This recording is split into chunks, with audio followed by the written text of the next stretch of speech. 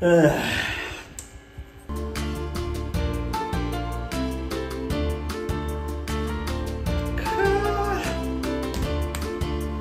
い酒だはい。というわけでやってまいりました。めっちゃ使えるジャパニーズもう一回めっちゃ使えるせーのジャパというわけでやってまいりました。はい。私サムライソードパワーの宗像達樹です。イエス。お元気でしょうか皆さん。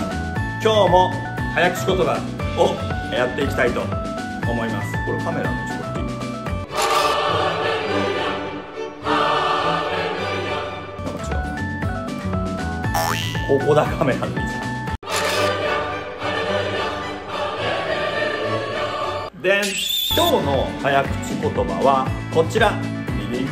これとっくりと言いまして日本酒を入れる器ですね。よくですね昔の時代劇とかだとね侍さんがこういうふうに手に入れても口でこれを開けて。ポンあ失敗した。ポンってやってこれを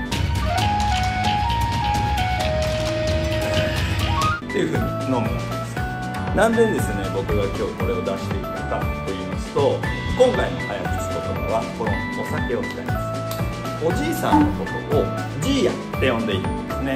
まあまあまあちょっとした呼び方ですよね。おじいちゃんとも言ってましたけど本当に昔のところはね。例えば僕がちょっとねこういうふうに偉い人であったらねあのお付きの人とかお付きで僕よりも年齢が高いおじいちゃんとかに対してじいやじいやっていうような話とかしてるわけです。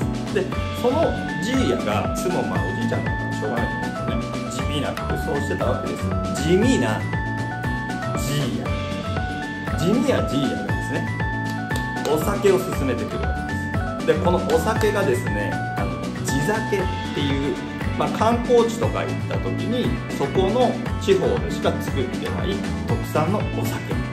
地酒って言ってるんですけどもそこのじいやがね自慢してくる地酒があるこれはうめえぞこのお酒はうまいぞって言ってくるんですね。地味なじいやの自慢の地酒。これが今回の早口言葉です。地味なじいやの自慢の地酒。いいですね。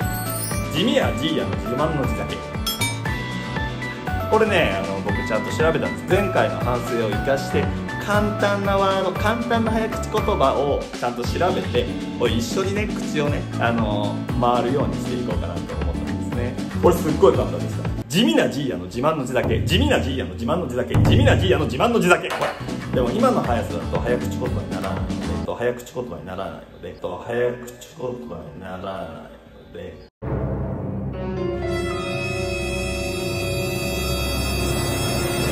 早口言葉です。っちゃ口を早く動かすんです。地味なじいやの自慢の地酒。地味なじいやの自慢の地酒。地味なじいやの自慢の地酒。簡単まあこれで終わるのもあれですからもう一個いきますよ。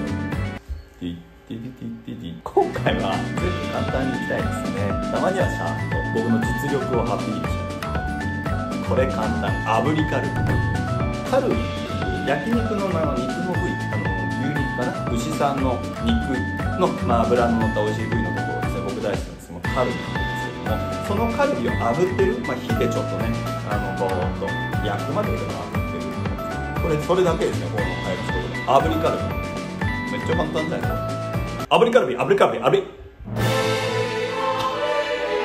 炙りカル。ビ炙りカル。ビ炙りカル。ビめっちゃ簡単ですね炙りカル。ビ炙りカル。ビ炙りカブリ炙りカブリカブリ。カルビ。さあ今回もか綺麗に収めたい。炙りカルビ炙りカ炙りカルビ炙りカルビ炙りカルビ。言えた？あ閉まらない。おおおいくぞ最後炙りカルビ炙りカルビ炙りカルビ。まあというわけでね早口言葉って本当に簡単ですから思い切ってね楽しく学んでいきましょう。そう。炙りカルビでした。炙りカルビでした。ありがとうございます。